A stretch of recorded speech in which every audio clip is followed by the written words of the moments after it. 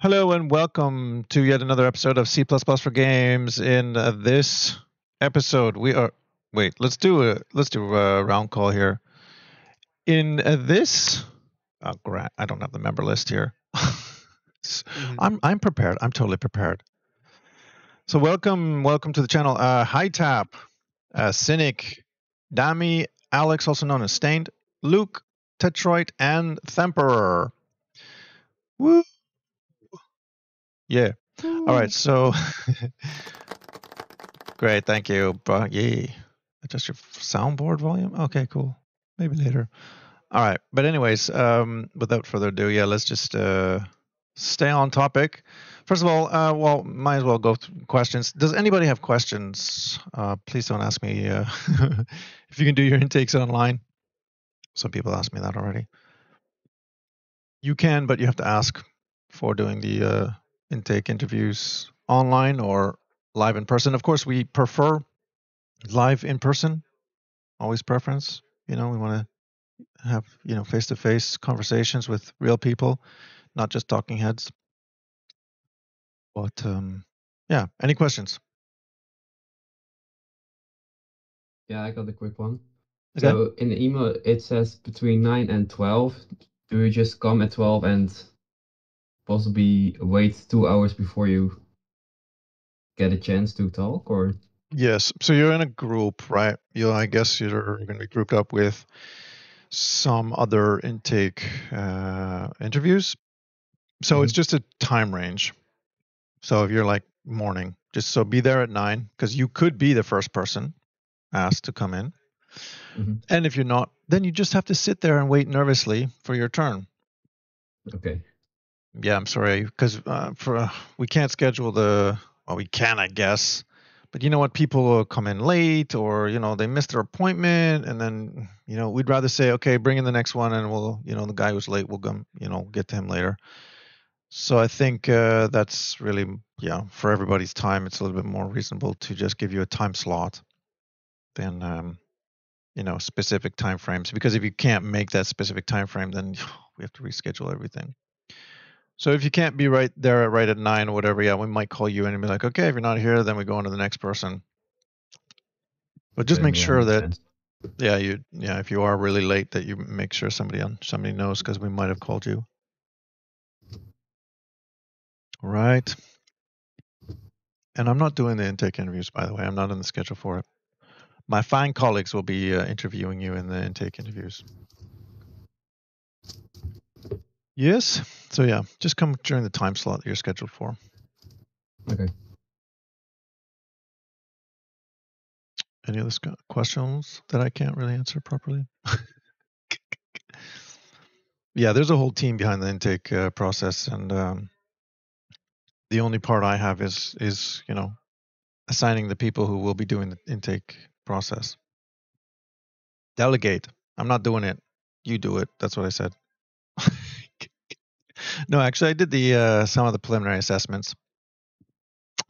And Alex, by the way, you got a um, a very good reaction from the preliminary assessment from somebody who's usually very critical and negative. So congratulations on that one. Oh, thank you. That's interesting to hear. Yeah. Yeah, I think uh, who did I do? I, I did. Uh, I didn't do Luke. Luke, you had head soccer, right? Yeah, that yeah, was I his think- game. Yeah. And Detroit, you had the the beat one. Mm, Yep, I am. Yeah. You, okay. Then I reviewed yours. I Also, reviewed. how did it 'cause- go? It Well, nice you got an interview, didn't you? Uh, yeah, I got invited. then it went well. Well, I mean, I couldn't play your game. I, I, I think I shared a video of me um, just letting the, the, you know, I just disabled collisions in the game so I could actually progress past the first stage. I couldn't even get to the first checkpoint, to be honest, because I was like, you know, I told you I was going to be bad at it. So I just disabled I collisions. five checkpoints in, uh, of uh, an official version which I submitted. Sorry, what? Uh, I submitted the version with five checkpoints, so yeah, I couldn't even get to the first one. Much easier. Oh, sad. but I wanted to see further than the first checkpoint, so I just you know disabled collisions and let it go. I'm currently But, yeah. the second level though. Second level, oh my gosh, I can't even get to the first one. But anyways, um, without further ado, uh, oh sorry, um, anyone else with a question?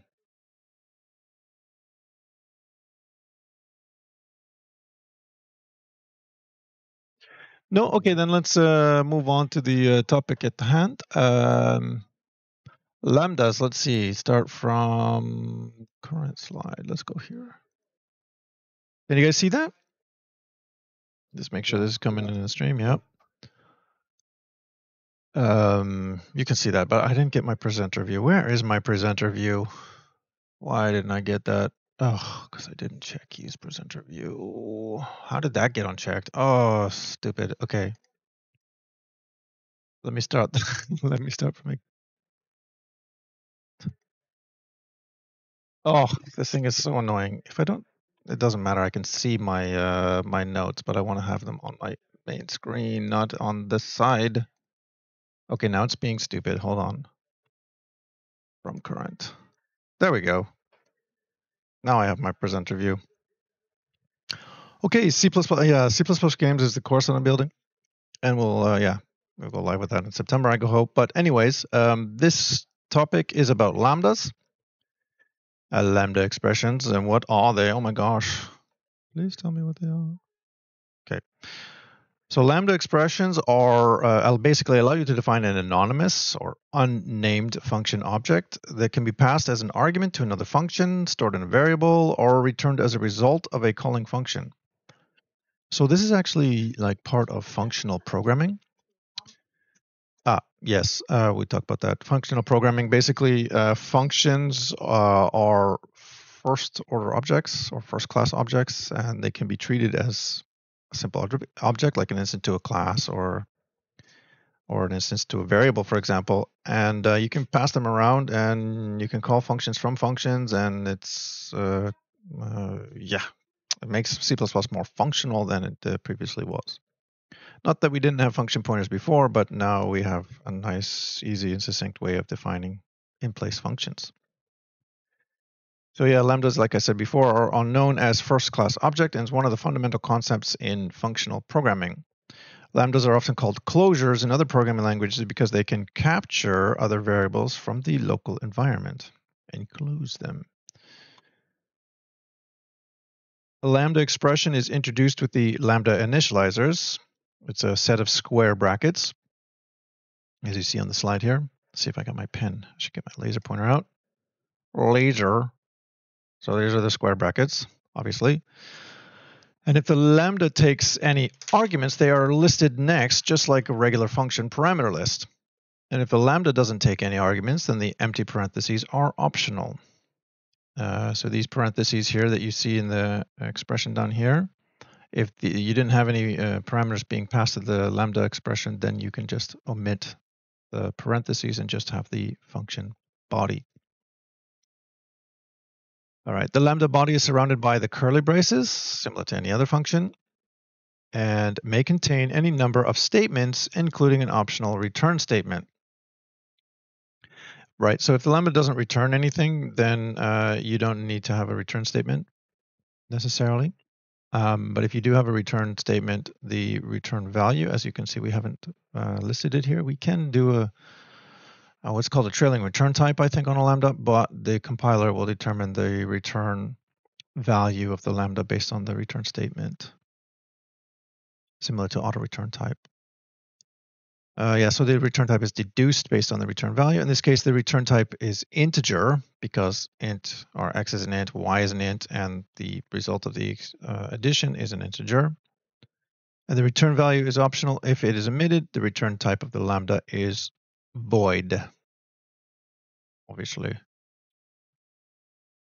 Oh, I don't know. Uh, should we look at the, yeah, we kind of talked about each one. Uh, lambda initializer must always occur even uh, if there are no what's, what's called no captures, it doesn't matter.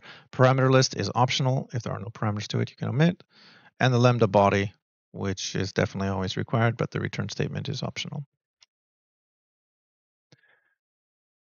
Okay, so as I mentioned on the first slide, lambdas are first class objects in C++. And that means that the result of a lambda expression can be stored in a variable, or passed to a function, or returned from a function.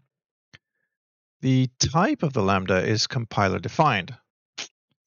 So for example, the, the resulting type of this lambda expression and how we store it in the variable could be different depending on the type of compiler you're using. So it's very platform specific. So because of that, we can't really name the type of the lambda, right? So for this reason, we must use the auto keyword to represent the actual type that is the result of a lambda expression. And there are ways around this, and I'll, I'll talk about that in a second. Um, okay, no notes on this one, but all right. So in this example, we see that in order to return a lambda from a function, for example, a function that can return a uh, create a lambda, which is you know kind of common in functional programming. It's weird, but since we can't name the type of the return value, we have to use the auto the auto keyword for the return type in uh, C++. You can also uh, pass a lambda object to a function. Uh, in this case, we can use the auto keyword again, as you can see here, where we have the use lambda example, we have auto f and then the parameters that we want to invoke. Uh, it's not extremely clear that f is actually a uh, callable function object, but we have to know that, all right? Um, so as you know from the previous lesson, this creates an abbreviated function template, um, right? So I think we talked about templates and we talked about function templates. And uh, did uh, did I talk about abbreviated function template. I don't know if I talked about that, but anyway, so we can just use auto on the on the pass parameters to basically create a template function where, well, it's an unnamed type. We don't have a type for it, but that's what we have decltype for to actually get at the type of f, which again is compiler defined. I'm not a big fan of this syntax because auto is not really self-documenting, right? In this context, we don't know what f should be. And so a better way of passing a function to, um, oh, passing a function pointer basically is to use the std function object. This more clearly indicates uh, what the what the actual type is. Later in this lesson, we'll also see how we can fix the syntax to make it more clear uh, what kind of object the use lambda function can expect. So we'll improve this one later. So that's one way of passing lambdas because we can't name their type, but std function provides us with a more, let's say, self-documenting type. All right, so a generic lambda is a lambda expression with at least one auto parameter. So in this case, you can see that x and y are both auto types. So this is very similar to the abbreviated function templates. This creates a function template where the function parameter types are deduced based on the context in which it is used. I remember from the previous lesson that we can also use the const auto references to eliminate any unnecessary copies. Uh, so if you remember from, I think it was not on function, function templates per se, but in one of the lessons, I think we talked about auto keyword does not deduce uh, const or references. So if we want to turn this into a you know copy by reference or pass by reference, then we have to explicitly add the ampersand on the auto to make it a reference. If we want to make it an uh, immutable reference, then we have to add const auto reference. Okay. So the capture clause, this is the, um, in the square brackets, it's called the capture clause. Uh, this is placed inside, yeah, the Lambda initializer. So it's placed inside the Lambda, Lambda initializer. And there are two default capture clauses that you can use to automatically capture local variables within the Lambda. So the equal sign, as you see in the first example, used in this Lambda initializer will cause any locally defined variables used within the Lambda body to be captured by value. So um, do I actually explain this example? Yeah. Um, so in this case, we have a, fu um, a function which takes two variables, x and y. And then we use the equal sign to say, let's capture x and y in this scope by value. So when we use x and y here, we're actually using the x and y that were passed to the function called create capture. What we get back is a lambda which captured the, the values that were passed to the function by value. Yeah, might seem a little bit complicated now, but uh, um, yeah, there's some gotchas about this. Well, we'll get to that in a second. Well, by value, there's almost no no issues except that you're copying the values uh, into the into the lambda lambda, but by reference there can be some gotchas. Um, yeah, so then when you invoke the lambda, in this case, when you invoke this lambda later that gets returned from the function, it will be invoked with the values that were passed to the function. I hope that's clear. The ampersand can be used in the lambda initializer to capture variables by reference. Now, since the variables are now aliases of the original variables, if the values are changed, then the lambda will see these changes when it is invoked. But be careful when you are capturing variables by reference. You're only creating an alias to the original variable. If the captured variable goes out of scope or is destroyed before the lambda is invoked, chaos ensues. So to be clear, right? So x and y are passed to the to this function by value, right? They're captured by reference inside the lambda initializer. And then they're later executed or they're evaluated when the actual lambda is invoked. But if you return a uh, the lambda expression from the function, then this stack is unwound, and these variables, which are captured by reference, are no longer there. So this is really bad. This is okay. This will work. This is not okay. The actual values that you capture by reference in that local scope must exist when the lambda is invoked. Okay, I've seen a lot of cases where students have made this mistake and then they get a crash and they have no idea what's going on. And it, it yeah, to the untrained eye or the untrained professional, they would really be super hard or impossible to figure out what's going wrong.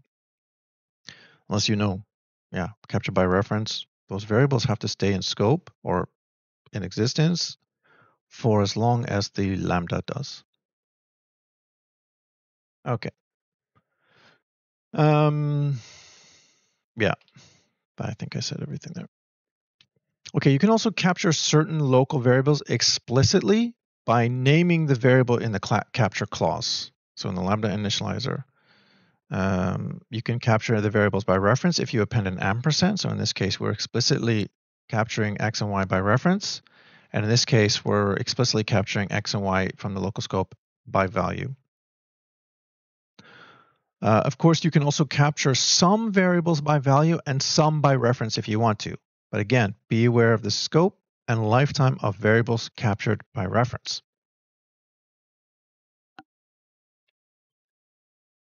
So remember a few slides back when I said that I didn't like using abbreviated function templates notations for passing lambdas to functions?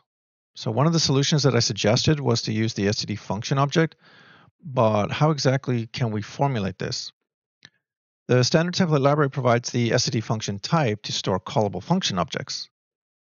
And to use it, we must be able to define the expected function as a template argument to std function. Uh, uh, yeah, as a function, the template argument to the std function defined in the functional header file, right? So we need the functional header file because std function is defined there. And in the original example, we used auto. So this was the original example to create an abbreviated function template to allow an unspecified lambda to, lambda to be passed to the function. Using this syntax, it is not immediately clear what type of f is. Right? So if I was looking at the code, I would be like, what? If I didn't see the implementation, I wouldn't know what f is supposed to be, unless it was somehow, you know, really well documented. You really need to analyze how it's used in order to decipher what it is. Now, if you're working in a team with other programmers and you don't document your functions, well, then I don't think that they're going to appreciate this kind of code where you just have auto F and they're just going to go, what the F is F? A more descriptive syntax would be to explicitly state the type of argument you are expecting. But when using lambdas, yeah, that's not so easy, right? Because they're platform specific, the actual type that gets generated by a lambda expression.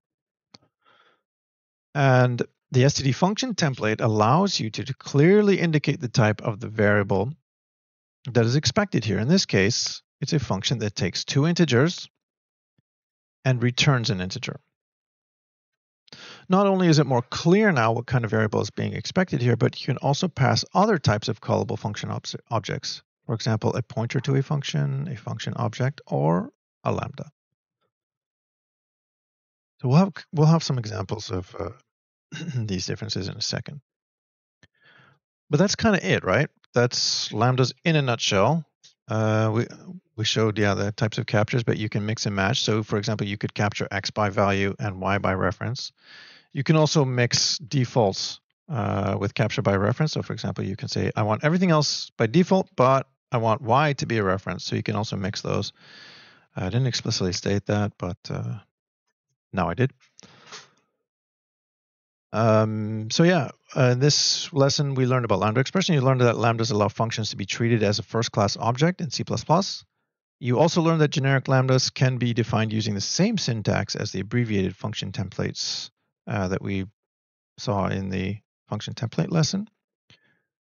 Yeah, you also learned that you can capture local variables either by value or by reference by using the capture clause. And finally, you learned a little bit about the std function template type that is less ambiguous than auto and can be used to store the result of a lambda expression. If you would like to learn more about lambdas, I recommend you read chapter 19 of the beginning C++ 20 from novice to professional.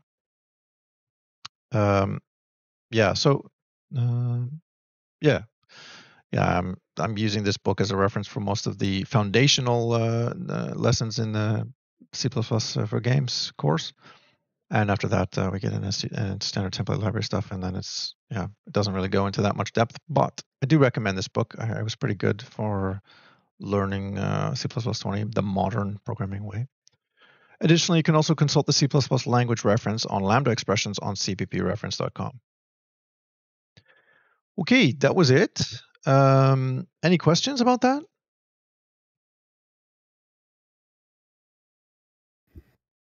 um, what about the pitfalls of using std function? Oh, there are so many. Where do I start? Um, yeah, what are the pitfalls? like you stated as an easy alternative to just replace the auto and make your code clearer, but yeah, are, but it needs it needs memory for about? the. Sorry. Aren't there things one should uh, think about? When... Well, that they they allocate uh, for example, yeah, uh huh, or potentially allocate. Okay, they potentially allocate. Yes.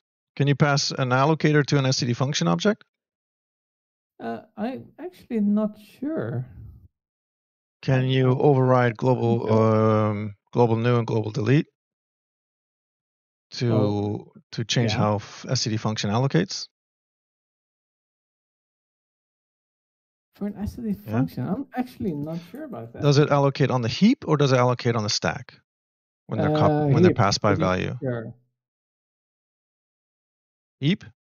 You think, think so? so? Yeah. I'd have to check this. Does the standard say anything about it?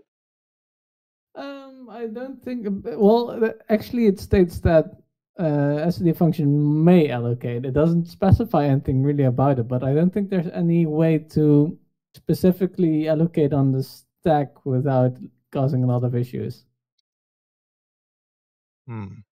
Because, hmm. like, I think std function only potentially allocates if there are captures. Like, if there are no captures, it shouldn't allocate. And it might you also mean if if the resulting lambda has you know has a size. Uh, yeah. Um, okay. So if it doesn't, then it doesn't allocate. But it still needs to store something. Well, a plain lambda is or the uh, function object. Byte. Sorry. A plain lambda is uh, one byte big. One byte. Yeah. Uh, and okay. well, I actually um, talked about this a while ago. Here's a Godbolt link. Okay. uh, showing you some function sizes.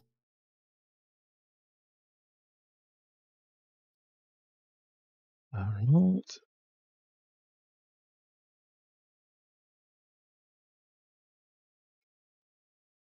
Doo-doo-doo. And I have to show this on the screen. Can you guys see this? Size of so okay, the free function is a is a fun, uh, pointer to a function. I assume.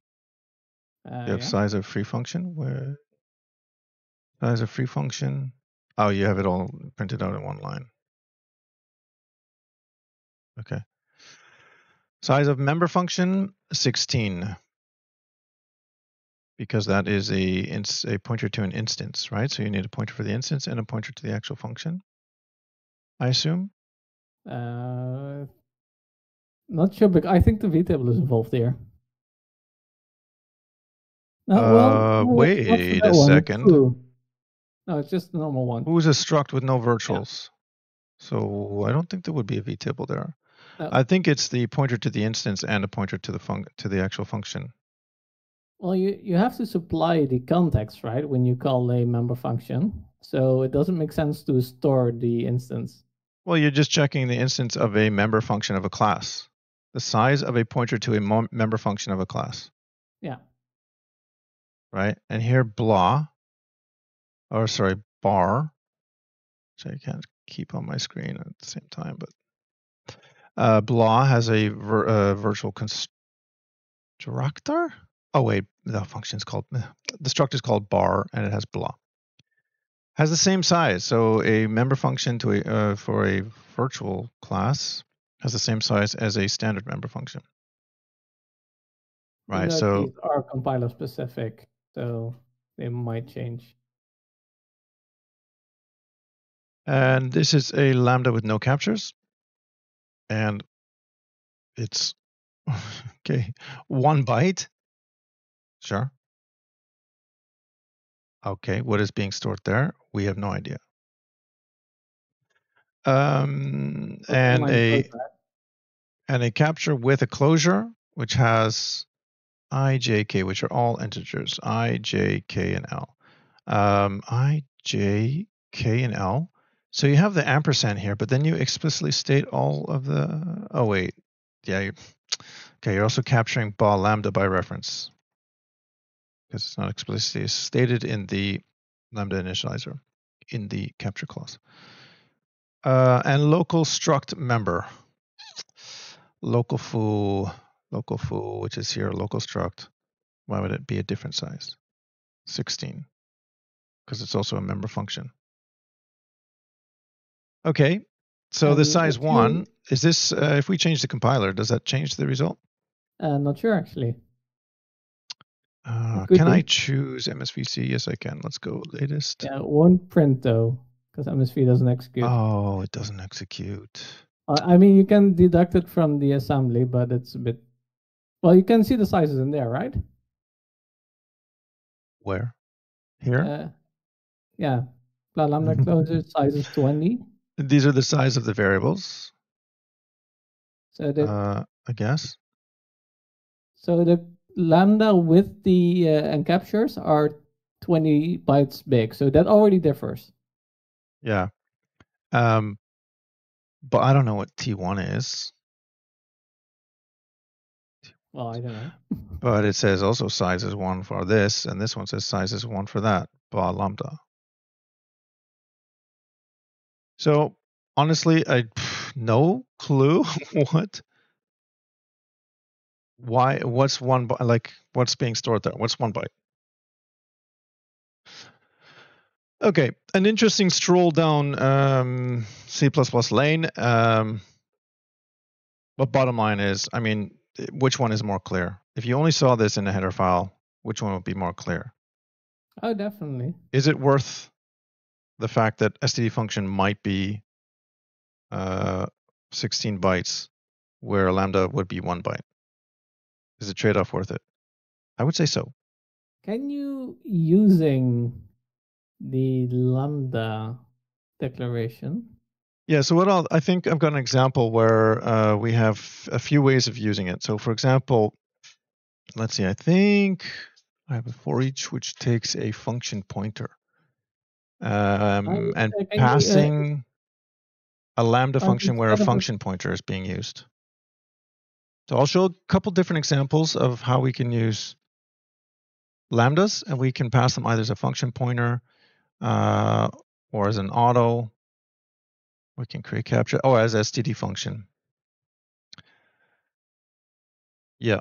So let's take a look at Mhm. examples without getting sorry, but without getting too tangled up in the you know allocations and whatever. We want to keep it beginning C++. That's the name of the chat. Beginning C++. Yeah, I, I was wondering if you could using it instead of like like a type def basically, if that's possible. That would create a type for it, but I'm not sure you I can. would challenge you to create a using statement that defines a lambda. Now that yeah, what I would suggest is that you define it as either a function pointer or as a std function object. That's what I would do because like we said, lambdas can't really you can't specify the type of a lambda. So in order to store it in a variable, you have to use auto. Or store it into something else that can uh, represent a callable function object like std function, which is what it's used for or made for. Well, one of the many uses of it. Um, yeah, what is the uh, std function can only not um, like easily store functions or yeah functions to an instance of a class. So for that you need to bind. You need to use binding uh, semantics. But I'm I'm not going to get into bind today. I think. Let's just see an example, and we'll see. I think, yeah, I have an example here where it's being used as a callable uh, as a function pointer. So we'll talk about that too. First of all, I'll just create a simple demo with an empty project. Uh, let me just create a new project here before I bring it on the screen. Empty. I'll just start with a blank slate. Don't call it lambdas. I'm just doing this off screen for a second. Lambdas.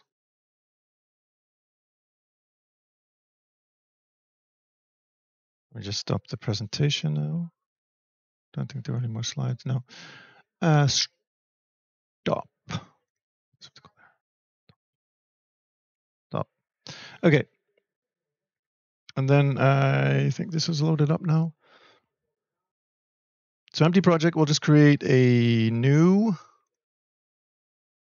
item for main. Oh, this is a new interface. Okay, cool.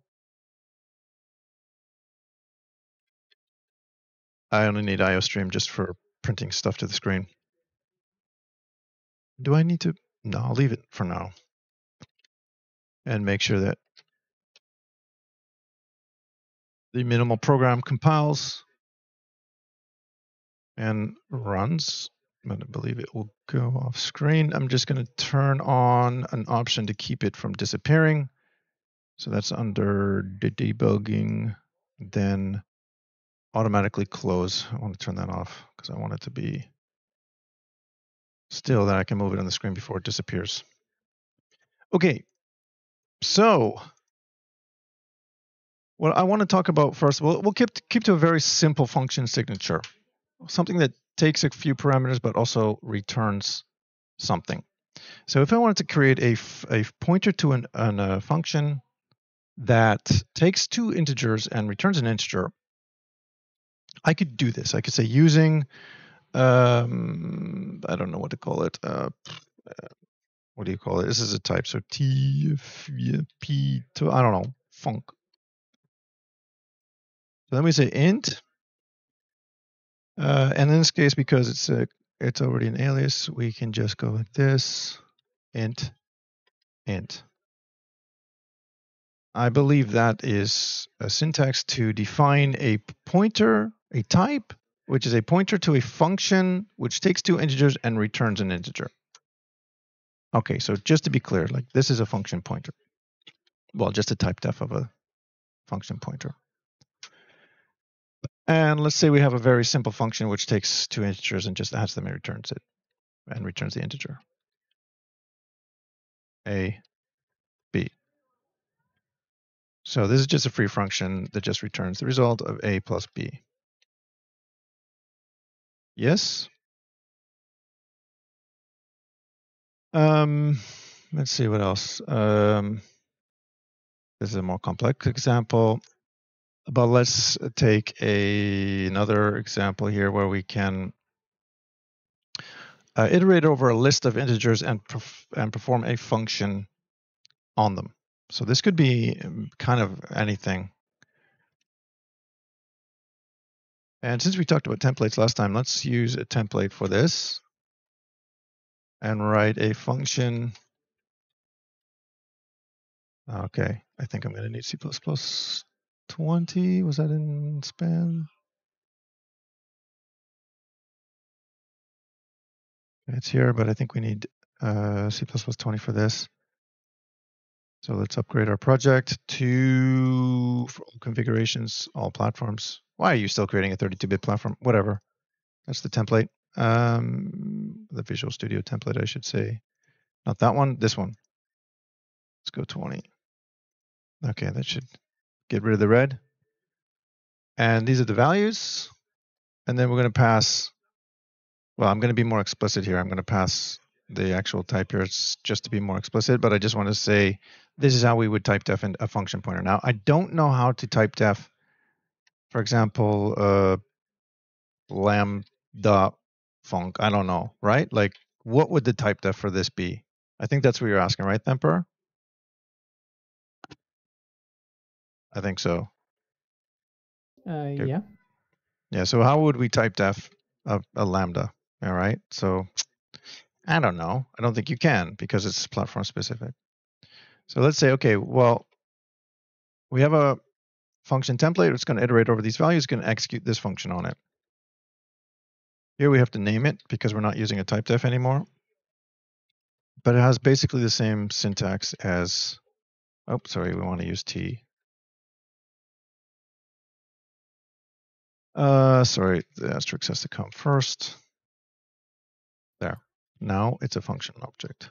Now it's a function pointer, I should say. But anybody who knows, like, okay, I've done function pointers before. You know, I'm a C programmer. I've seen this happen before. I can extrapolate to applying a function pointer as a template uh, templated type.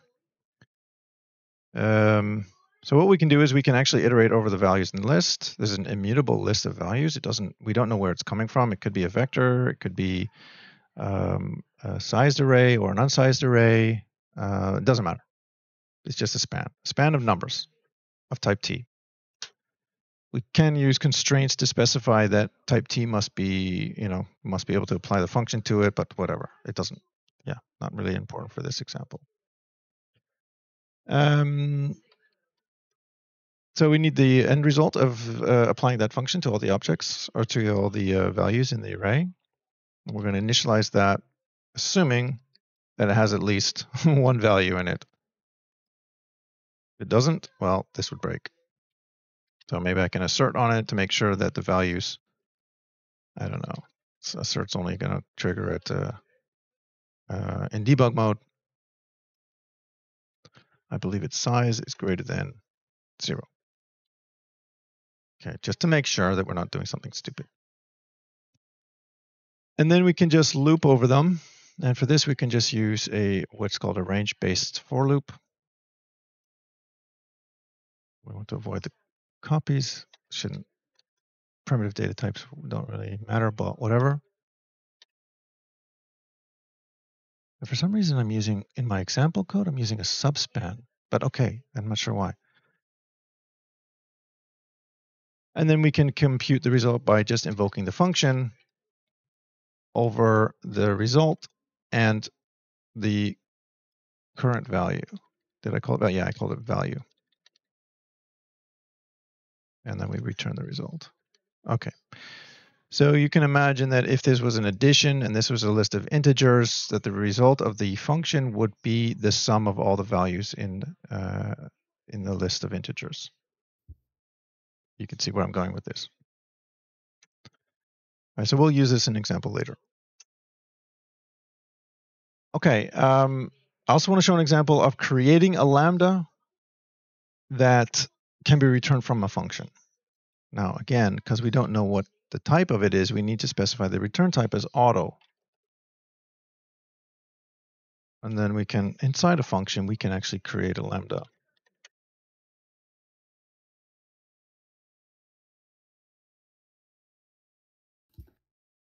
And actually, this is a bit of a weird example because we don't know what x plus y is, or uh, we don't know what types x and y are. So we can actually create a lambda expression inside of a function and determine, determine its types based on the context in which it is used.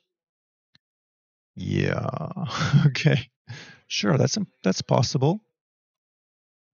Uh, we can also create a lambda that has a function uh, takes uh, that captures something. This was all mentioned in the presentation. Uh, in this case, we're going to specify uh, x and y specifically. And what we are capturing is capture x and y by value. Otherwise, we'd use an ampersand to mention to specify them by reference. But in this case, again, these are temporaries, right? These only exist on the stack because they're being passed by value. So when we call create lambda, they're they're brought into existence, but by the time we return from this function, they no longer exist. So we want to capture them by value because if they were by reference, we'd be referencing deleted values, and that wouldn't be good. Right? Okay. So it's a bit weird to see this syntax, but what we're actually returning is the result of the lambda expression, which contains just a single expression that adds the captured x and y values. Any questions about that so far?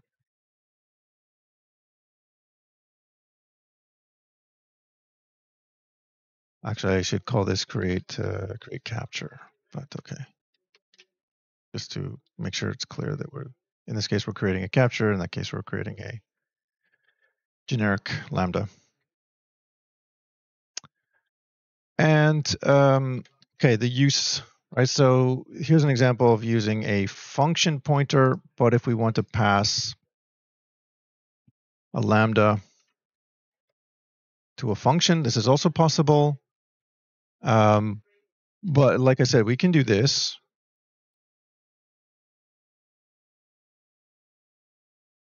But again, what is what type is f, right? We don't know what it is because if we just pass it like this, it's totally possible as long as we know that lambda, or sorry, f is a lambda, which takes two integers and returns an integer, right? But okay, so this is one way to do it, and in fact, it might not be allocating, or it'll probably be one byte on the stack or whatever. But in order to make this a bit more succinct and obvious what it is, I think not succinct, but just more clear, we can use std function, but you see he's not uh, filling it in, but let me just fill this. Uh, we need to include a header file. Um, and this is how we can specify that std function is pointing to a function, a callable function object, which takes an integer or two integers, sorry, and returns an integer. So I'll just include that header file there. Functional, std functional has to be in there. So now we can actually use it. And I guess you can also pass function objects by const reference. But if you are, you know, just creating it in place or passing it, um, it's going to allocate anyways, right? So it's a temporary even if you pass it by reference. So in this case, we probably just intended to actually create by value on the stack anyway. So it doesn't really save us anything in, in some cases. All right, so uh, these are the many ways uh, that we can use lambdas. But of course, you can use them in algorithms and whatever else uh, to create kind of like a in-place function. Um, yeah, Hi, Tap. Okay, he left already, I guess. Uh, but yeah, I'll be uploading this to YouTube. Okay, so let's take a look at a few examples that are actually going to use these uh, functions here. First, we need some kind of values, right? So let's create a, a uh, an array of values. Well, let's say, uh, I don't know, one, two, three, three, four, five.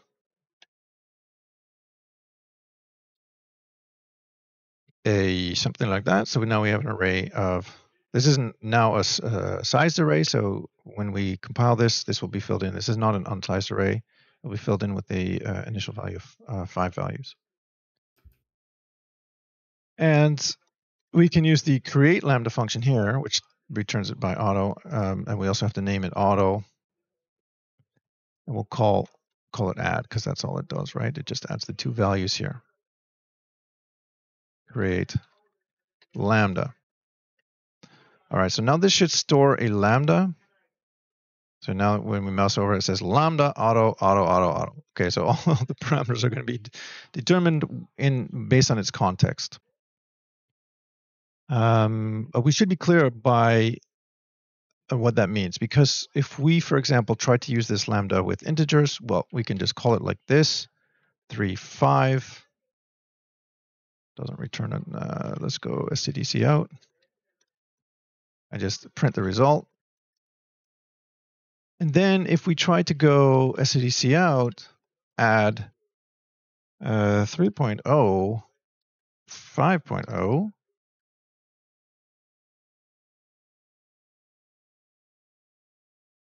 does it allow us to change the type?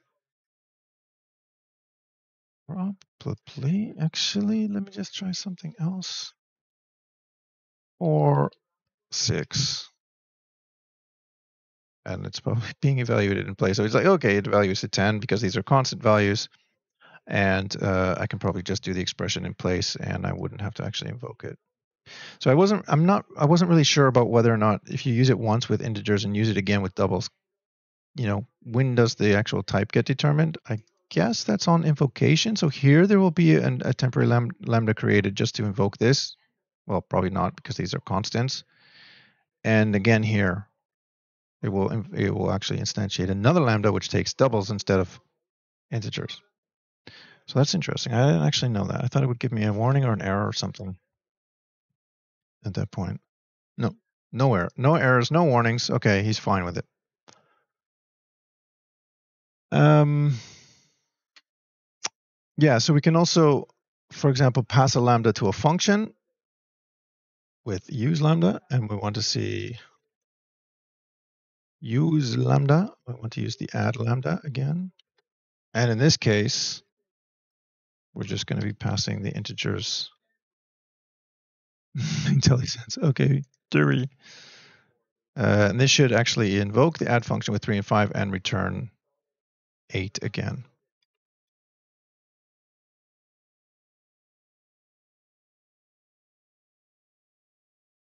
Okay, that's passing lambdas by uh, to a function. And we can also iterate over the list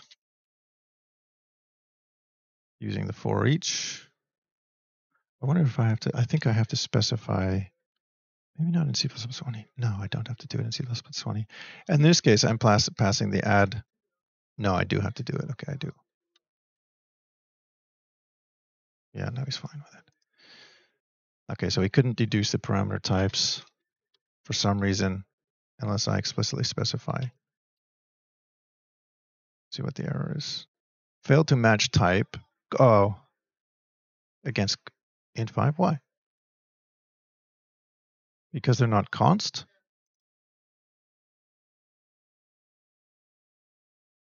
No, I don't know.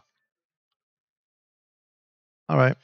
So uh, if you guys remember this for each function is a template function which takes some values and some function pointer. And I, th- I think it's because of this, because it's a auto type deduction and he can't actually deduce the type here. So we have to explicitly specify the type as integer. And then he's fine with it. So what will be the output of the program?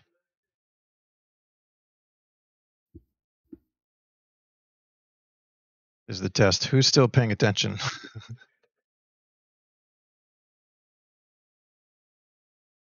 kind of obvious, I think. What's the result of adding three, three, and five?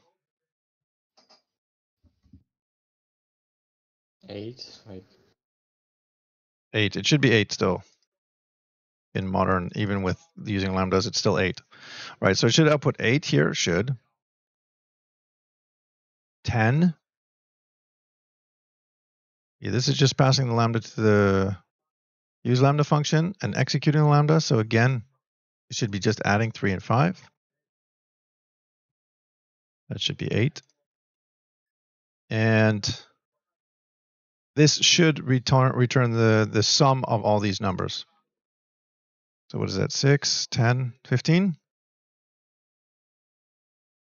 Everyone agree? That's right. Should work, right?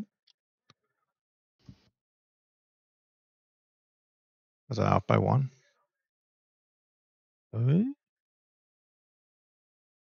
Okay. I don't know why it's not coming to the front here. It's somewhere here. Okay, here's the output. It was being uh, included here. 8, 10, 8, yeah, indeed, uh, but 16, so we did something wrong there. I would expect it to be 15, but I guess because we initialized the result with the first value, we actually should have initialized the result with, well, it actually depends on the function because sometimes it should be 1, sometimes it should be 0. Um, but anyway, so let's just do 0. And the way we specify 0 and whatever type t is, so it could be doubles, floats, or whatever, is we just wrap it like this. That actually should have been, yeah. In my own example, I take the I initialize the result with the first value. That's silly. That's silly. Okay. There it is. 8, 10, 8, and 15 indeed, yes. So it's working and we've seen several examples using lambdas. So other use cases of lambdas are, uh, and one of the actually most common, I think, is um, as comparators to different algorithms. Let's see if I can, I don't know if I can show an example that's not completely, um, Uh, just use uh, STD Obfuscated. sort. Uh, indeed, but what if you want to change the order of the sort, right? So CPP reference. I mean, you can do that in the uh, Visual Studio, right? Yeah, but I don't want to do it necessarily. I just want to show some examples because there's a huge algorithms library, so there's a lot of different ways to um, to apply it, um, and most of them, for example, all of maybe let me like see this one, right? So the predicate function. So for every element of an iteration, or from beginning to end, or first to last, uh, I execute this predicate function, and they're using again templates because we don't actually know the type of the predicate, but we have to know that at least where does it say it? Um, oh, is it P? Uh, yeah, unary predicate, where the expression PV must be convertible to type bool. All right, so this returns a, if all of them are true, it returns true. Yeah, so this is an interesting example. But here the predicate, which is just a function, a unary function, which takes a single parameter and returns bool, um, can be a lambda expression or another callable function object.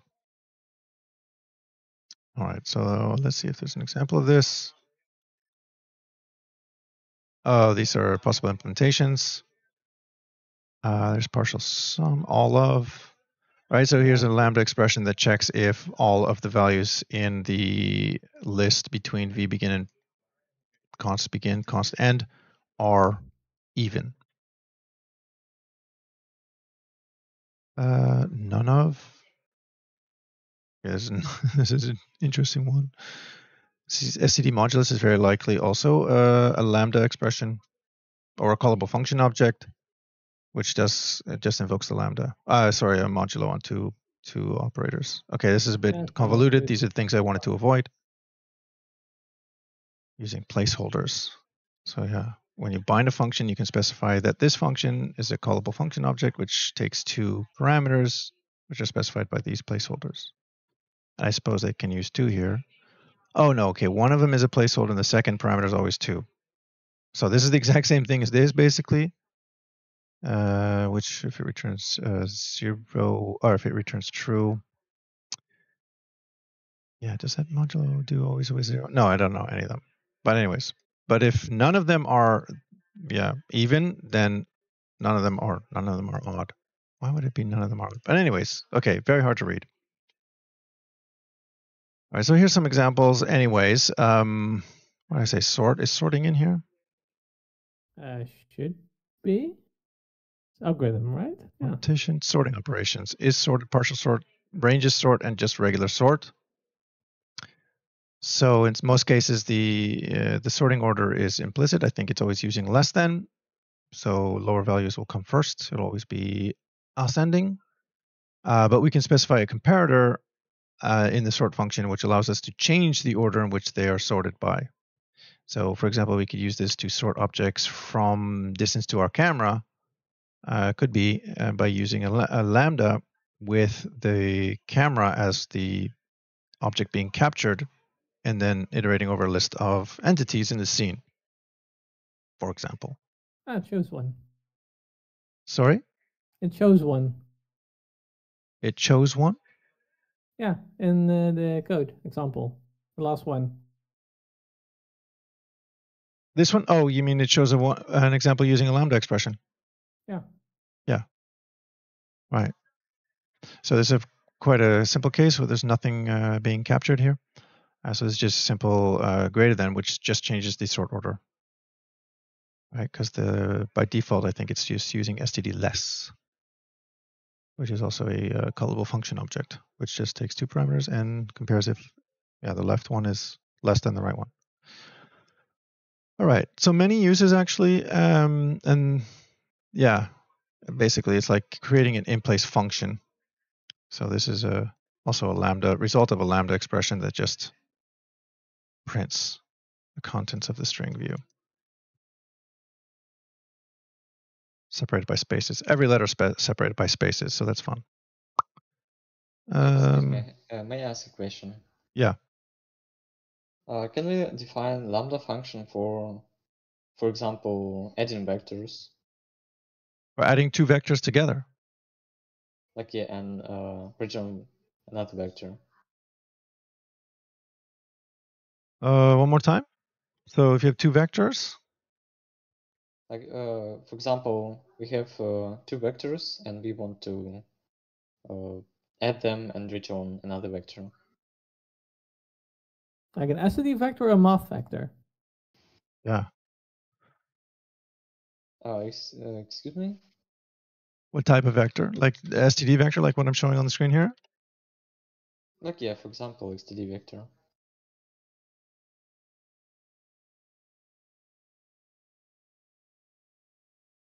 Are they the same size? I wonder. Right. So when you want to have a lambda that that can add two vectors together.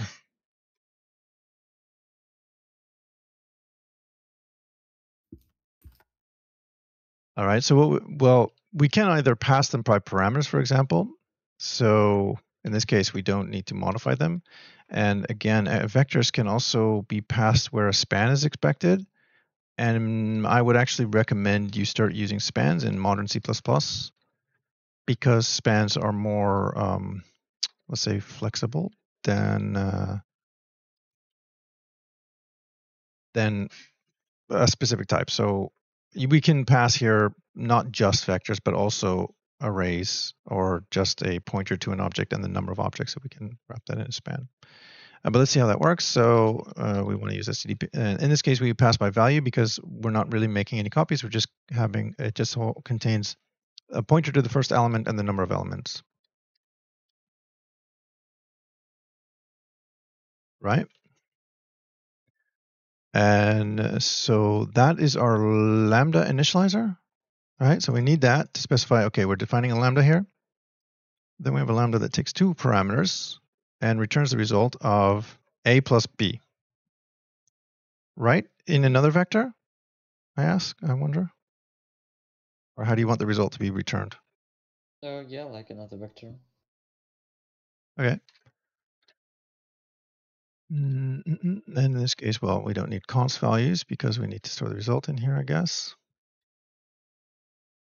And I don't know which we want to initialize the size of it because um, this there's a problem here that we don't know if these are the same size. So we need to do some error checking or whatever to make sure that you know we don't exceed the length of one of these two.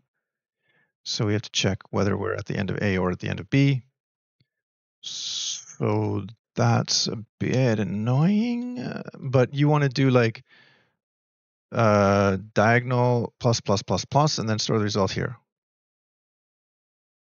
Right? I'm just going to assume that that's the case. You don't want to do like 0 that's plus how 5 plus 6 work, plus I 7 8 plus 9, 1 plus whatever. You could do a bunch of different things here. Um, Like when merging two vectors, you. I thought you meant like adding the two vectors together, so you end up with, in this case, one vector of ten elements. you, yeah, okay, like vector concatenation. Yeah.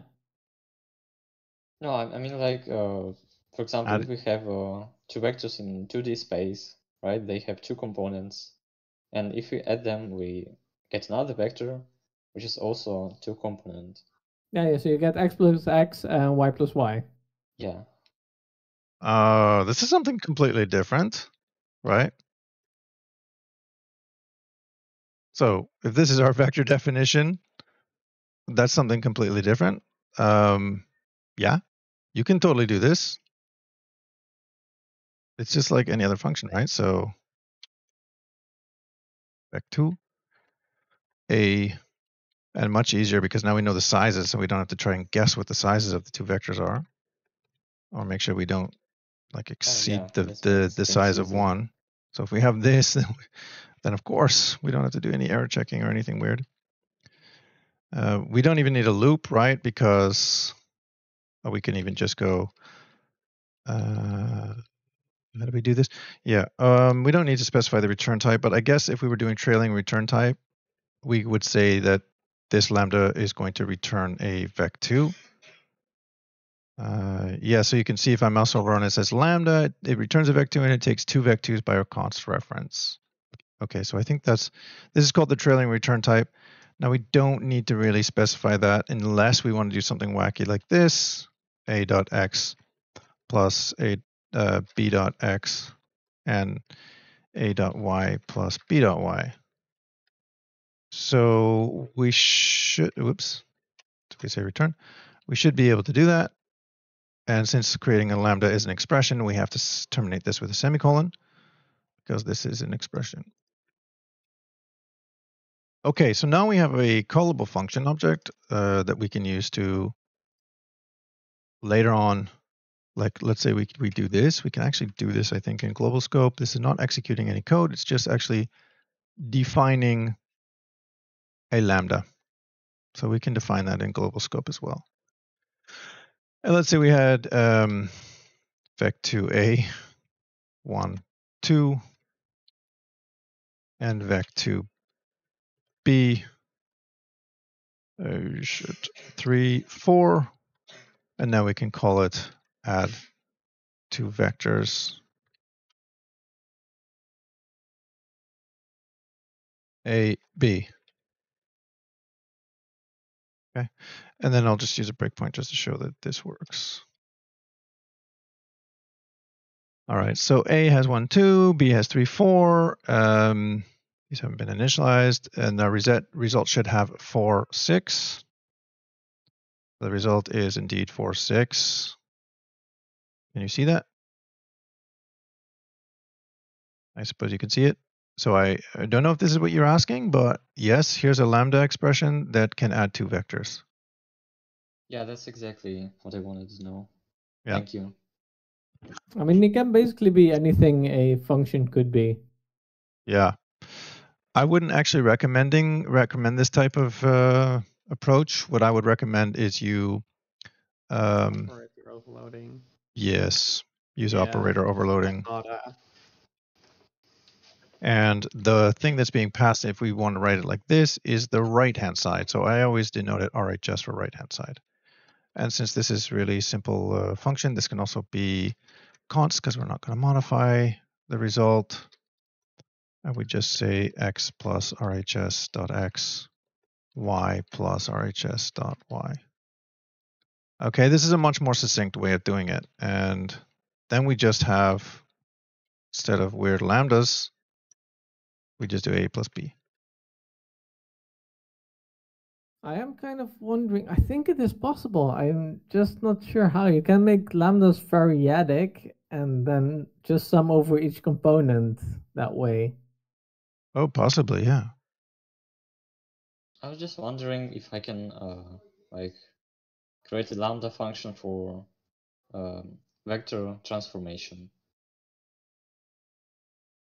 Yep. Yep. I mean, sure, that's one transformation you can apply to vectors. Is that what you mean? Well, yeah. Or do you actually mean matrix Like multiplication with vectors? is uh, like very basic uh, operation. But I mean, uh, Yeah. I would just use a member function for that. Like the Yeah. operator plus thing. Yeah, oh because yeah, uh, operators way too simple. Unless you wanted to determine at runtime that the operation that's being performed, but then again, um, maybe a switch statement would even be better. complex function to uh, transform vectors. Uh, I'd like to iterate over like um, like a vertex buffer and perform some kind of multiplication on every element of the. S- like some uh, x to some power plus uh, y to some power equals uh, new x coordinate and so on. Yeah. So, for example, Like you could. universal. So this is like raised to the power up, but it's exclusive or I guess. But you could do this, I guess. Um, with this type. I don't know if you'd use an integer for this necessarily. I don't know. What do you want to call this? But uh, yeah, that wouldn't use it. I would just put like make it more expense uh, explicit. Um, but then I wouldn't. I wouldn't do this anymore. I would do back to pow, uh, which takes the columns vect to v, and then I don't know float or integer, and then just I don't know if this is even correct. How do you take the power of a vector?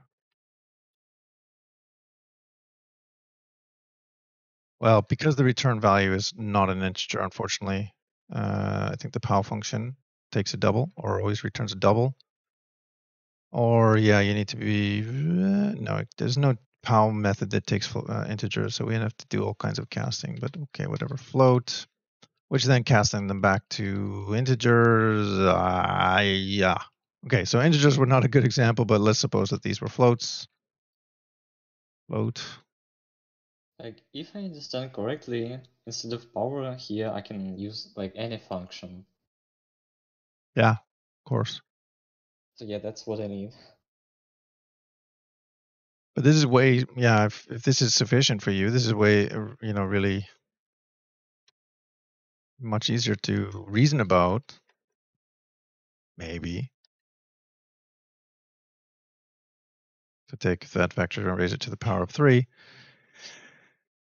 Um, and this might actually be more, yeah, and might be easier to read than creating a lambda to do this. I mean, we should use lambdas where they're necessary, and that's why I wanted to show you the algorithms library because these are a few situations where lambdas would be, you know, this generates this callable function object, but lambdas would be a good use case for, for example, specifying the the expression to sort on uh, for std sort library.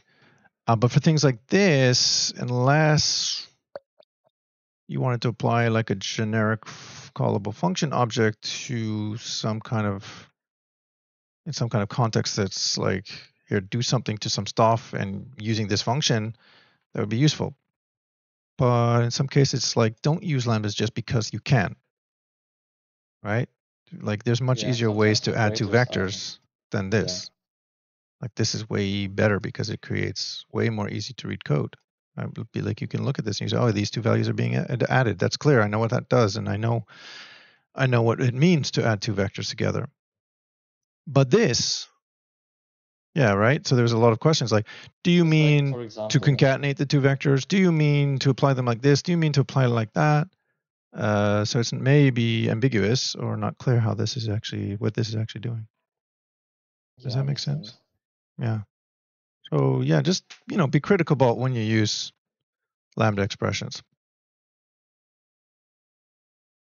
there should be a reason Ah. for it. I guess you could cast that vec2 to a span of integers, and then you have a generic k- uh, kind of uh, transformation operation. Yeah. Yeah, that's Okay. correct. Mm, so let's take this for example. And let's say we want to apply an add function to a vector that takes two values. Now, if I was to take this vector and I wanted to, let's just get rid of this because I still want this to compile. Um, and I'm obviously not doing that right. But let's say I wanted to use the for each on the span. Well, what I need to pass to the span, I don't know if I need single or double braces, but okay, let's try this. A dot X, but we need the address of that value and the number of elements. Can we Um, not instantiate a span by just giving it a pointer and a size? is it the size of the number of elements? I think. Yeah, so a would be size of int times two. Yeah, that's what I'm doing, right? Address of the first Oh, element sorry, of yeah, A yeah, okay, yeah, and the number of elements, which is two. yeah. Okay. Oh, sorry. You know what? This is uh wait, wait, wait, wait, wait. Yeah, yeah, yeah, yeah. So int two, I think we have to specify the size as the extent. Yeah, that's the dynamic part. And then we just give it the address of the first element, I think. Uh, I don't know why it's complaining about this. I usually just let it instantiate it. Uh, No oh, viable float. constructor. All right, I changed it to I changed it to float. Can I do that? All right, let me look at this. Construct vec2, argument float pointer. Might be const now. Cannot convert R value of type float pointer to parameter of type const float. Float pointer does not satisfy uh, cons- what was it? Concept contiguous range. ah, okay.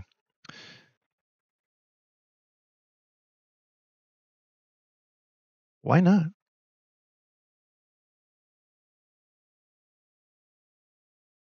Also, that too could be size of float times two, right?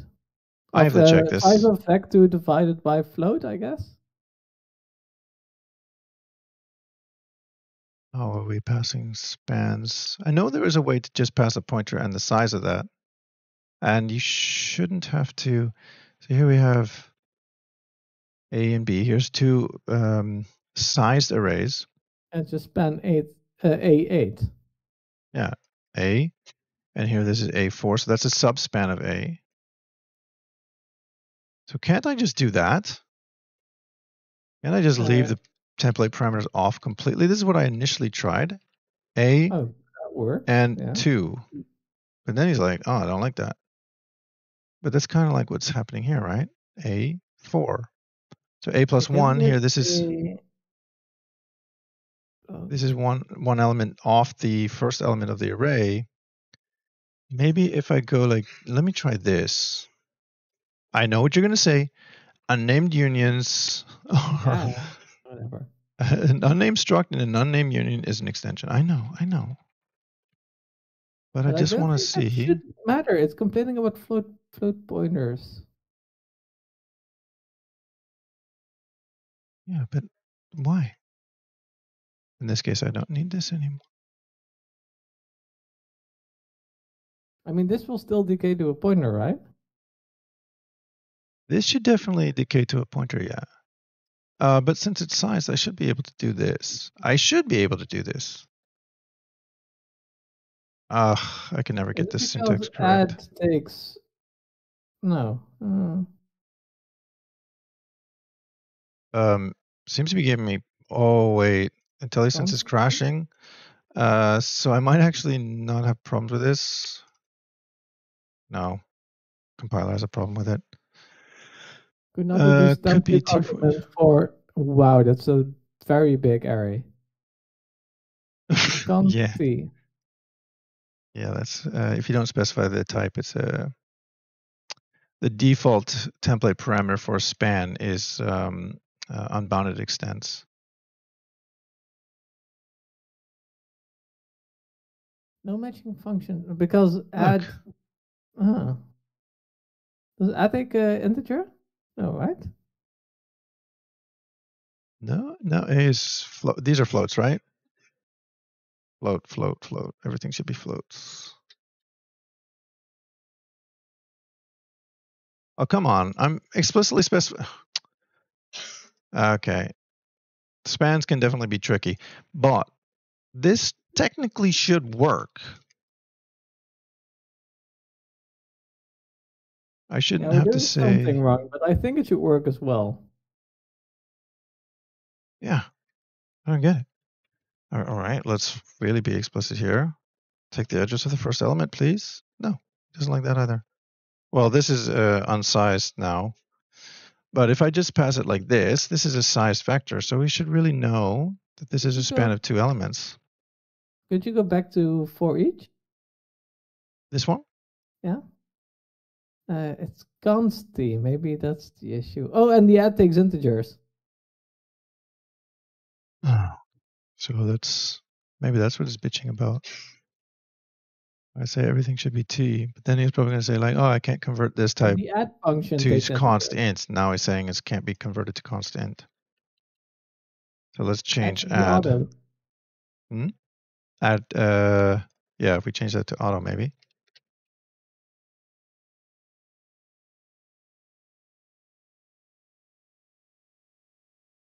Arto, come on, you can do it. No, there's still squigglies. he still doesn't like it. I don't know. You can remove the me. other stuff. I think. Yay, we did it. Okay, now you can remove the union and struct again. I think. oh, wait. Maybe if I had this, the return type. Mm, Oh, I don't know.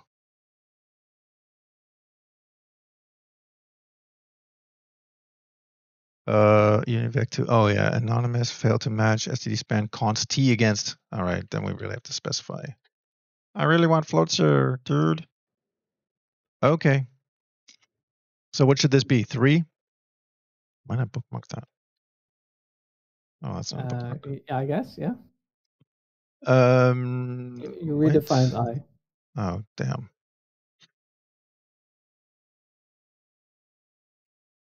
They good? Uh, well, you're not printing it, but sure. Three. Yeah, it's a bit weird, but yeah, three. One plus two is three. But yeah, it's a bit wonky. But okay. It's a bit of a weird use case, uh, I would guess, and you generally don't uh, iterate over over I mean, um, components of a vector. Iota, right? Or uh, std accumulate. Uh, perhaps I think it's accumulate. iota will generate a ran uh, a number range. Iota is a for loop. Oh no, ito. I thought you said ito.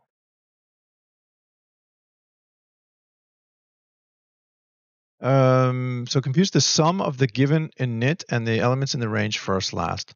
So if we could create the iterators, I guess we could use that. I don't know if there's a Yeah, you ranges. can with a span, right? So you But I already know still need, yeah. I would still need to wrap that in a span and then pass the beginning and end iterators of the span to the accumulate function.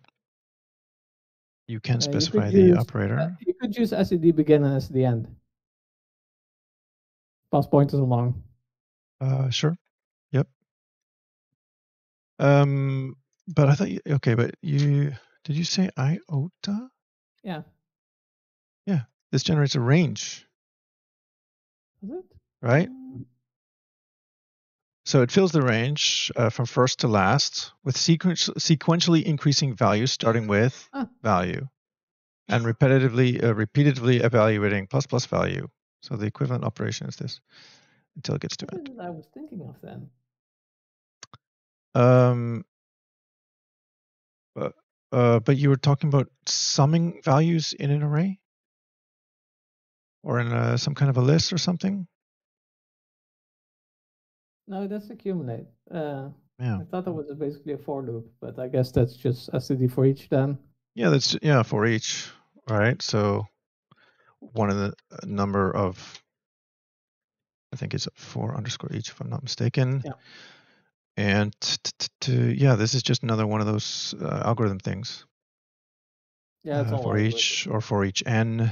Um, which actually I have a class on iter- on algorithms as well, a lesson on algorithms. Let me go back one.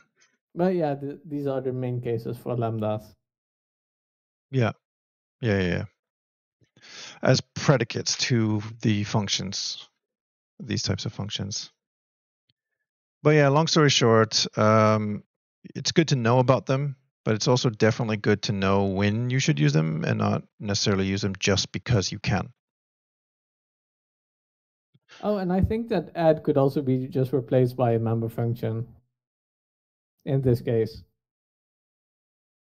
Um, for which one? like where you do the vec2 addition now, uh, I think you can just specify vec2 dot operator plus oh, to you mean to pass that? But instead of the um, lambda. but the lambda does expect two parameters, and the member function operator only has takes one. So wait, you have to define the operator plus outside of the class, which makes Yes. it vec2. Yeah. Yeah, you could do that too, of course, which would look something like this. You can do these operators. Um, left hand side.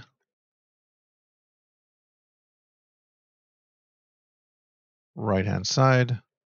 And this you have to do, for example, if you want to, let's write a vector scalar where the left hand side is a float, s, and the right hand side is a vector, then you would say s times RHS dot x and s times RHS dot y.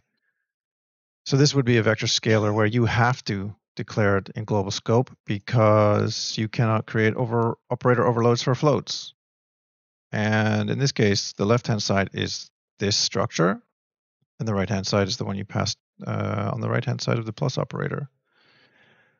But when you want to allow vector scale, uh, scales with a float on the left side, totally valid, totally makes sense to do so. So do it, and then but you have to you have to provide those functions like this. But yes, if you had a global operator plus that takes a left hand side and right hand side, then you can use that as a standard free function to pass to uh, the place where uh, either a function object or a function pointer is expected, such as here. If that makes sense. Which might also be implicit for certain operations, What like do you mean? accumulate. Implicit being that it takes two parameters and returns a single. Uh, as in, you don't have to specify the lambda or predicate at all. All right. Yeah. Well, that the default is std add. Yeah, because it has operator plus overload. Oh, okay. Yeah. do plus. I have plus, right? Exactly. So basic, yeah, this is just the what we just defined called add, but yeah, STD has a version of this that, that does exactly the same thing. Well, I think, um, if I'm not mistaken, uh, all the STD, less, greater, plus, etc., are special cases because they don't call the overloads, uh, which is why when you want to take an address of something, you actually should be using STD address of instead of the ampersand because Okay. the ampersand might be overloaded. Um, yeah. Okay. Fair enough. But I think the only exception is the address of operator, because it's so weird that you can overload that and get a completely different value than what you expect. So when STD implementations have that, they use STD address of to avoid the invocation of the overloaded operator, which could be defined on the type. But I think in most cases for standard operators, they do not do anything to try to avoid the call of the overloaded operator. Whereas in this case, if T was the vec2 type, it would call plus, and whichever ones it finds, either the plus operator defined on the structure itself or one that matches in global scope, it will use those. Hmm. Yeah, so that's one exception, right? The address of. So, but any other operator, I'm 99% sure there aren't any weird, you know, alternative implementations of this. So how how could you, for example, you know, add these two together without invoking the actual operator? How would you know how to add these together?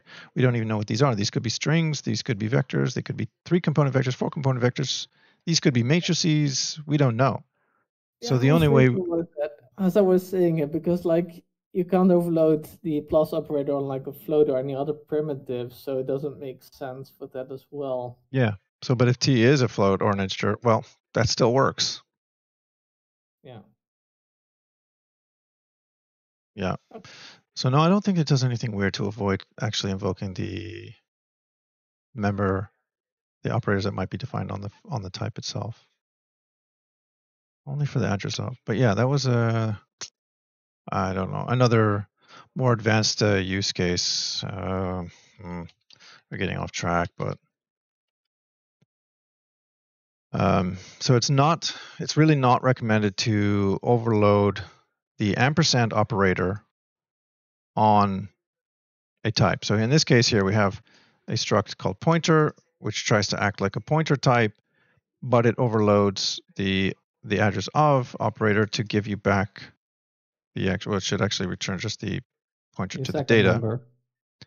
Yeah, this is the non-const version. So in this way, it allows you to actually change the pointer, but there should be a const pointer or a const uh, version of this which point which just returns data. Then you can only return the actual or set the data, but you can't change what it points to. But anyway, so this is actually a bad a bad example of you know using this and faking that this is actually a pointer to type. So to circumvent this, if we really want the address of P, we have to use std address of, and otherwise we're going to get the address of data. Actually, the address of the address of data. Just okay, but yeah, this is how we can prevent invoking the ampersand operator on a type or on an instance of a variable. Sorry, I'm getting a little bit tired here. And we're getting off track. Um, but yeah, C++ is complex. Bottom line, I guess. Any questions?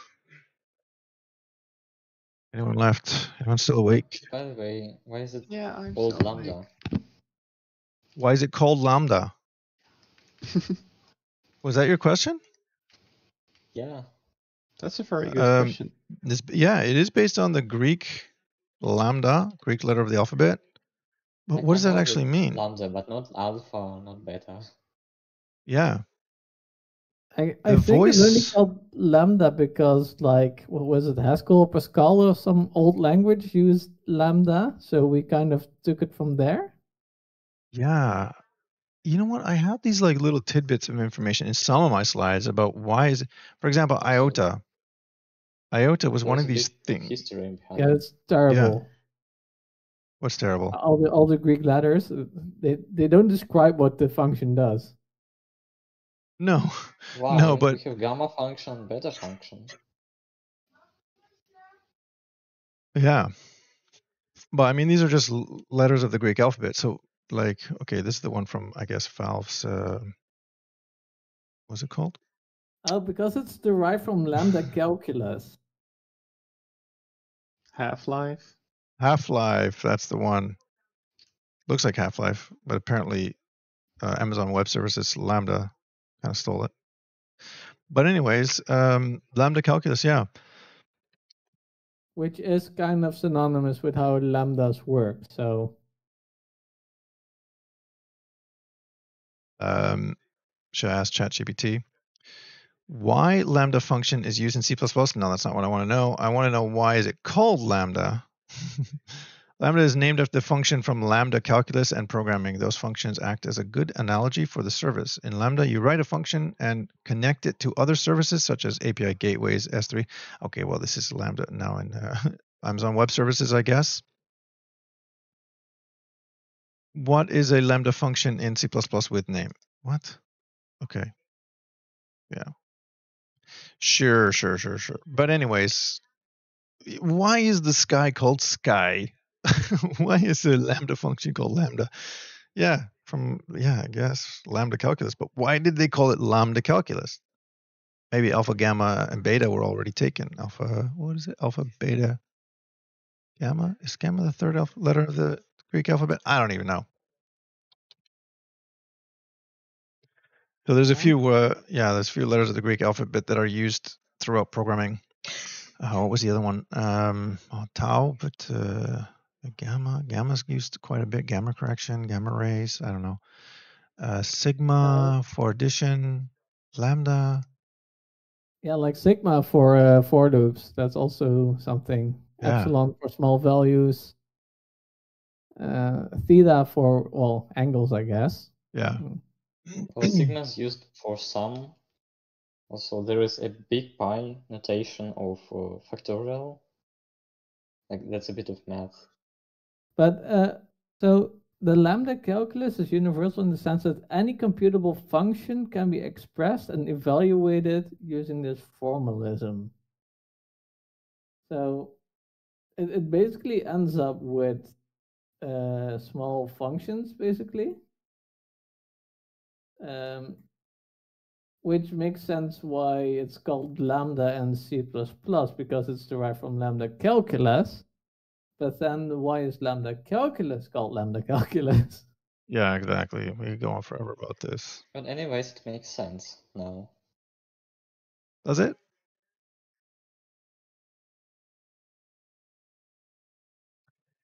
Um, yeah, this was another one. This is a C++ name, which is it's really a bizarre name, iota of the function. And I thought this was quite interesting how it came up. Um, but in some programming languages, the literal uh, the literal lowercase iota symbol is used in the programming language to mean a sequence of numbers, and it generates, well, as you would imagine, lambda, or sorry, uh, iota four gives a list one, two, three, four, which is interesting. And in C in C++, iota does the same thing. It generates, well, it fills a sequence with values. You can specify the starting value in the C++ std iota. So I, I thought that was This kind is of literally the first time I see iota is getting used. yeah. To be honest. So go to the uh, uh, page for lambda. Uh, No, lambda calculus, I guess. on Yeah, lambda might be a calculus. Okay. in So then on Wikipedia, you see in the history the origin of the lambda symbol, uh, Yeah. symbol, and then the Uh, last sentence. just here or I know the the origin of. um, origin of uh, here, And last sentence. according to Scott. Uh, Scott who? Uh, Dana Scott. Yeah. Sure. According to Scott, Church's entire response consisted of returning a postcard of the following annotation: "Eeny, meeny, miny, mo." What? Is that Uh, what you wanted me to read? and the prog- maybe the whole part because I think there's something about lambda here. Uh, so there's some uncertainty over the reason why Church's use of the Greek letter lambda as a notation for function abstraction in the lambda calculus, perhaps in part due to the conflicting explanations by Church himself. I guess there was a reference to somebody named Church before here. According to Cardone and Hindley, by the way, why did Church choose the notation lambda in an unpublished 1964 letter to Harald Dickson? He stated clearly that it came from the notation x hat used uh, for class abstraction by Whitehead and Russell. By first modifying x hat to, oh, what is this, the all of x symbol for all x, to distinguish function abstraction from class abstraction, and then changing all of to lambda for ease of printing. Interesting. Yeah, so this is a, This as is far as I know, this is a. Boolean notation, which which indicates that all of x, uh, any of is a v, I think, in lambda no- and Boolean notation. The origin was also reported in Rosser 1984 on page 338. On the other hand, in his later years, Church told two inquirers that the choice was more accidental. A symbol was needed, and lambda just happened to be chosen. Dana Scott also also addressed this question in various public lectures. Scott recounts that he once posed a question about the origin of the lambda symbol to Church's former student and son-in-law, John W. Addison Jr., who then wrote his father in law a postcard Dear Professor Church, Russell had the iota operator, Hilbert had the epsilon operator. Why did you choose lambda for your operator? According to Scott, Church's entire response consisted of returning the postcard with the following annotation Eeny, meeny, miny, mo. okay, so he chose it randomly. That's what he means. Like he basically just counts his fingers. Eeny, meeny, miny, mo. Catch it, take it by his toe. If he always let him go. Eeny, meeny, miny, mo. So he chose it fairly randomly. And that's why we now call lambda functions lambdas. Does that answer your question? Well, as I assumed, it was chosen randomly, just completely. Yeah, it's arbitrary. I guess it's arbitrary. I mean, like same reason. Why why do we call blue color? You know, why? How do we come up with a name for colors? Or why do we call it grass? Because we called orange orange because the orange fruit was orange. Well, exactly. But what came first, the f- the fruit or the color? The fruit. Are you sure? I, actually, yeah. If you're considering physics, then color. All right. We're getting way off topic for the recording. So, uh, what are we at now? One hour, 36 minutes. But I'm going to do a quick sign off. All right. So, thank you very much for, for joining. And don't forget to like and subscribe and uh, join the Discord server. Um, yeah. See you next time.